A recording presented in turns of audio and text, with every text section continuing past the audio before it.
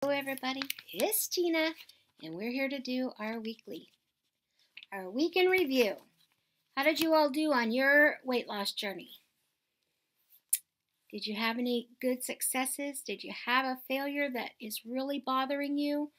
Let us know in the comments below. Let's see if we can talk about them, share with each other, and um, build up some community uh, below. Read each other's comments maybe you'll find that someone that you have seen on other channels, they're here and you can, you know, connect that way. Or go unconnect. That's kind of what it's for. this week's weekly is all about uh, preparing uh, meal planning, scheduling your meals. It's actually called Schedule Your Meals. Mm, there you go. Feel like Tyler right now.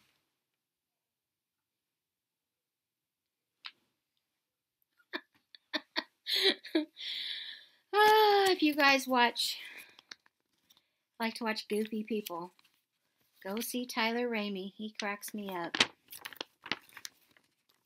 Um, he has already been on a very successful weight loss program and now is um, like an instructor, and I'm believing some type of director at his local YMCA um, in some type of management form there. But the kids come a long way. Um, it says schedule your meals. Planning when you eat helps you manage your hunger avoid unplanned eating, and make healthier choices. See how Weight Watcher member Jane does it. So then it talks about this particular person that lives in uh, Colorado. She gave her whole scenario of what she does. Um, and I've not seen a plan, I've not seen a weekly like this before, but um, they literally went through like a whole day of her tracker kind of what they did. At 5:30 to 6, she eats breakfast and um, she talks about everything that she uh, does in that time frame and then 9.30 to 10 is snack number one 11.30 is lunch 2.30 to 3 is snack number two and then dinner is at 6.30 she literally knows what time of day she's going to eat her snacks when she's having these meals coming up not only what she's eating, but when she's eating it. And so that's a lot what this particular weekly is about is just preparing yourself for success. It says what to do. Know your hunger. Recognize the difference between internal and external hunger. So she our, our leader talked quite a bit about that today. You know, of course, we know internal hunger is hunger pains, headache, lightheadedness, uh, maybe sleepiness. Uh, all of those things can indicate hunger. But external hunger is really sights, smells, um, even sometimes sounds. You know, um, there's a huge group of people on YouTube right now that watches one another due to the sound of eating. Um, so there's something to be said about the sound as well. But external, um, outside forces, people, places, emotions, the sight and smell of food. Um, it's, I would say, a very demanding type of hunger. It, it isn't like I have a hunger pain and I need to eat right now. External ones mess with your mind and you just can't stop thinking. Well, you really can't stop thinking about either. And one thing that our leader brought up, and she said, and what is the worst is when the two collide. You're starving, you're hungry, your stomach is growling, you're lightheaded, your head, your head is hurting, you're swooning, for lack of a better word. You need food, and someone comes across with, you know, hamburger fries and a soda pop. You know, the local donut store got delivered. You know what I'm saying? Things like that. Um, so when the two collide, it's it's um, you know you're set yourself up for disaster there. So pre-planning and knowing when you're going to eat, don't allow yourself to get to the point of distracted eating if you have a plan. Um, It says once you can in, uh, recognize internal hunger, create an eating schedule to manage it. And that's what she talked about. You know, when you know you're going to get hungry at this certain time, it pretty much every day it happens, then plan to have your meal ready right then or just even maybe just a little bit before then so you don't get to that emotional state where you can get out of bounds. And I know I'm preaching to the choir right here because I'm I'm not meal planning. I'm not even in a really great mindset right now, but I am following plan. I've had blue dots every day for I think the entire month of February. I don't know. I don't want to go to my journey because I don't want to see my weight, but okay, so so there's the first. Oh, I, I went over. Oh no, there's the first. There's the next page, blue dots all the way around, and the next page, and next page. I think I hit the same page a few times because we're only on day 20.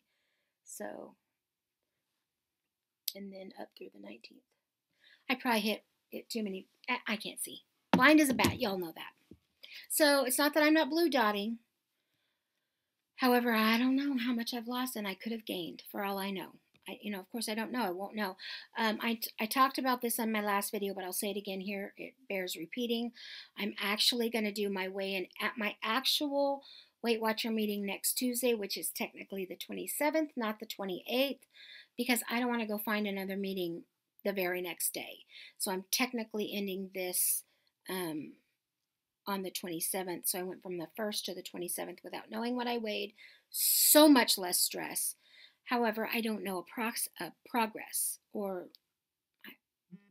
what's the word if you didn't progress? There's Carrie and Sandy right now texting me while I'm filming. Hi, girls. So, yeah, doing my weekly. Um, an unhelpful thought might be when you're trying to shift your mindset. Uh, I want to lose weight, so I need to eat less. I'll go as long as I can without eating. Okay, I do that all the time. All the time. I I have talked about it. It's like beating a dead horse. I know you all have told me stop it, but I skip meals. I try not to, but but I do and or I prolong them as long as I can until I'm sick. I don't know why I do it. A helpful thought might be I want to lose weight mm-hmm. and I do need to eat less, but going long periods without eating can backfire if I get too hungry. I'll create a meal schedule to help me avoid unwanted eating. Much better thought. It just is. Um, and then here's the recipe, which looks like I will not be eating it because it's chocolate pear quesadilla. It's pretty, but it's not something that the Gina's going to be eating. So there you go. Information about it. And then apparently there's a cruise coming up. There's a cruise coming up with Weight Watchers, and there's a cruise coming up with Tyler Ramey. So it's a health type cruise also. For all I know, it's the same cruise. I have no idea. No idea. Um, and then there's a coupon on the back. And that is literally it for the weekly. Um, the entire day was wrapped around planning what you're going to eat, prepping for it, having a plan. Don't let yourself go too long without food, um, like I do every single Tuesday. I've told you a million times, I'm not going to do it no more. I'm going to eat breakfast. I don't care. I get myself set up and I still don't do it. I don't know. I don't know. It just is, it is what it is. So I'm getting there. I'm getting, I'm so much better, but we're going to find out how much I weigh next week. And this month is over. I don't know that I would do it again. It is less stressful. I don't weigh every day. However, the not weighing every week and every day is is a bit much. So I think I'll just skip the weighing at home and go once a week and know what I weighed that week. So there it is, and I hope you all have a blessed mm-hmm. evening, and I will catch you all in the morning for day eight of the Love Dare. Talk to you later. Bye bye. And these girls just keep texting me, so I better get to them. Little bossy, are we, girls? Talk to you later. Bye bye. God bless.